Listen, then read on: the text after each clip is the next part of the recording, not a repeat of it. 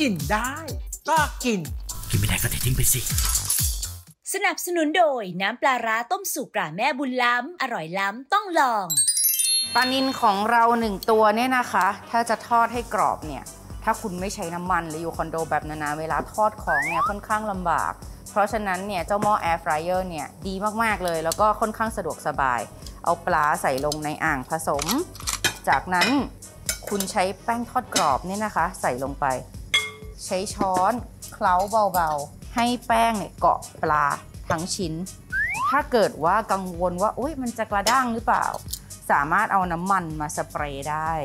หรือถ้าเกิดว่าชอบกับกรอบแห้งๆ แบบที่นานาชอบทานเนี่ยเพราะว่ายังไงเราก็จุ่มลงไปในตัวข้าวซอยอยู่แล้ว คุณสลัดปลาแบบนี้เอาด้านหนังขึ้นนะ แล้วก็วางลงไปใน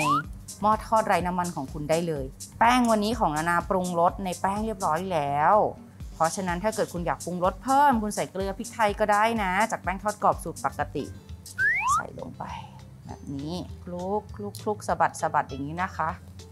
คีบแล้วก็วาง ระหว่างรอปลาของเราสุกกรอบเราจะมาทำตัวข้าวซอยกันค่ะโอเค ระหว่างที่เรารอปลาของเราเนี่ยนะคะ อยู่ในหม้อทอดลมร้อนเนี่ยนะ เราจะมาทำตัวข้าวซอยกันค่ะ ใส่น้ำมันลงไปนะคะ ลงในภาชนะวันนี้เลือกใช้เป็นหม้อ จากนั้นใส่น้ำพริกข้าวซอยนะคะ ลงไป ผัดน้ำพริกแกงนะคะ กับน้ำมันจนกระทั่งมีกลิ่นหอมก่อน เติมกะทินิดนึงก่อน ส่วนตัวจะชอบผัดจนกระทั่งกะทิของเราเนี่ยนะคะ แตกมันออกมาด้วย ก็จะทำให้น้ำพริกแกงของเราหอมยิ่งขึ้น เราจะเห็นมีมันลอยหน้าขึ้นมาเลย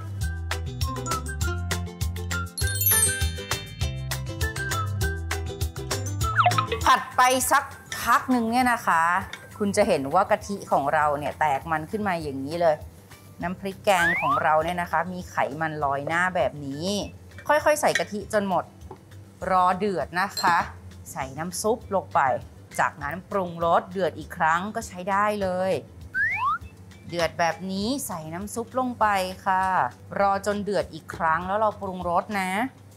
ระหว่างรอข้าวซอยเรา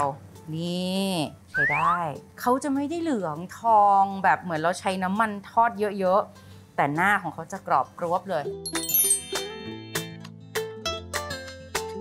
โอเคเดือดแบบนี้เสร็จแล้ว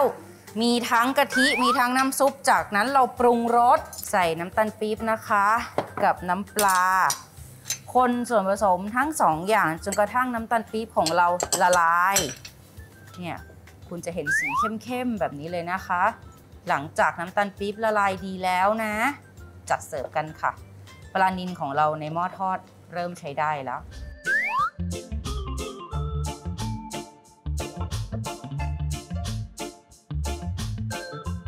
ได้ทุกอย่างพร้อมแล้ว เดี๋ยวเราจะมาจัดข้าวซอยของเราลงจานเสิร์ฟกัน อันนี้บะหมี่ลวกเรียบร้อย เราใส่บะหมี่ลงไปตรงนี้นะคะหมี่เปาะเส้นหนาๆแบบนี้ จริงๆ เราจะใส่บะหมี่ไม่เยอะเลย เพราะเรามีบะหมี่กรอบอยู่ข้างหน้าด้วย จากนั้นเนี่ยนะคะ เราจะตักน้ำข้าวซอยของเราใส่ลงไปโอเคเอาละจากนั้นใส่เนื้อปลาของเราที่ทอดในหม้อทอดลงไปค่ะชึบวางลงไปเลย ปลานินทอดกรอบของเรา 3 ชิ้นค่ะ ใหญ่ๆ วางลงไปเลย จากนั้นนะคะมีหมี่กรอบ ตรงนี้ ใส่หอมแดงนิดหน่อย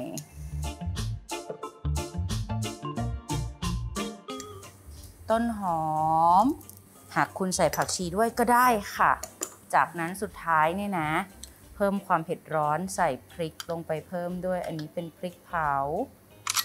กับน้ำมันพริกใส่ลงไปตรงนี้เลย จากนั้นเพิ่มค่ะ ถ้าเกิดว่าใครอยากทานเผ็ดมากเผ็ดน้อยใส่เพิ่มลงไปตรงนี้ได้เผื่อคนทานชอบทานรสจัด ให้เขาตักเพิ่มเอง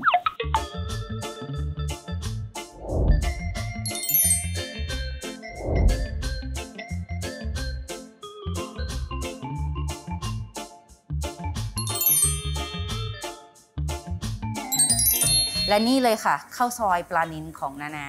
คุณผู้ชมลองเอาเคล็ดลับการแล่ปลานิลไปลองทำกันดูนะคะ รับรองเลยแล่ปลาหนึ่งตัวสามารถทำเมนูแสนอร่อยได้ทั้งเมนูของนานา หรือจะใช้ปลาทั้งตัวทำเมนูของอาจารย์ยิ่งศักดิ์ก็ได้เช่นกันค่ะ เสร็จแล้วเราก็จะตักราดบนปลานิลนะคุณผู้ชมราดจากหางปลาไปก่อนเลย คุณผู้ชมดูความน่ารับประทานสิโอ้โหหอมกลิ่นปลามาก น่าทานมากคุณผู้ชม ดูเป็นปลานิลที่ดูแพงแพงๆนะ ก่อนยกออกไปนะคุณผู้ชม ผักชีก็วางสักหน่อย จะได้ดูสดสดๆข้าวสวยร้อ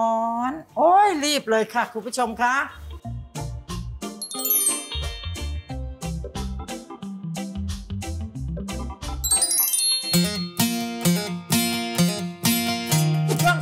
บุญล้ำอร่อยสุดล้ำกับน้ำปลาร้าแม่บุญล้ำวันนี้อาจารย์ยิ่งศักดิ์มีเมนูเด็ดมาฝากคุณผู้ชมอีกแล้วนะครับใครก็ตามที่ชอบแบบยำโน่นยำนี่อืมพูดแล้วน้ำลายสอคุณผู้ชมครับ วันนี้ตำรับยำไส้ตันแม่บุญล้ำเนี่ยเลิศมาก ปกติแล้วเวลายำคุณผู้ชม ก็จะใส่เปรี้ยวใส่เผ็ดใส่หวานใส่เค็มก็ธรรมดาธรรมดาคุณผู้ชม ลืมไปหรือเปล่า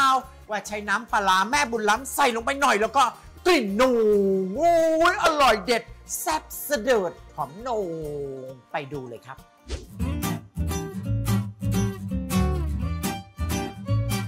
เริ่มจากใส่น้ำปลาต้มสุก ปรุงรสตราแม่บุญล้ำสูตรฟ้าขาว อร่อยแบบต้นตำรับหอมกลิ่นนงสุดๆ กลิ่นปลาชัดเจนจากปลาคุณภาพ ขวดเดียวเอาอยู่ ตามด้วยพริกขี้หนูสดสับ น้ำมะนาว น้ำตาลเคี่ยวสำเร็จรูป ผงชูรสคนผสมให้เข้ากัน จากนั้นก็ใส่ไส้ตันต้มสุก มะเขือเทศราชินี หอมแขก แครอทขูดเป็นเส้น ต้นหอม ขึ้นช่าย เข้าผสมให้เข้ากัน ตักใส่ภาชนะ เพียงแค่เนี้ยก็พร้อมเสิร์ฟแล้วล่ะครับ กับเมนูยำไส้ตันแม่บุญล้ำ น้ำปลาแม่บุญล้ำนอกจากจะทำอาหารอีสานได้อร่อยแซ่บแล้ว ยังสามารถนำมาทำอาหารได้หลากหลาย อร่อยเหมือนมืออาชีพ มาทำให้ทานเลยล่ะครับ เพียงแค่มีน้ำปลาร้าตราแม่บุญล้ำคุณผู้ชมสามารถติดตามรายละเอียดเพิ่มเติมได้ที่ Facebook แม่บุญล้ำน้ำปลาร้าแม่บุญล้ำ Line แอดแม่บุญล้ำ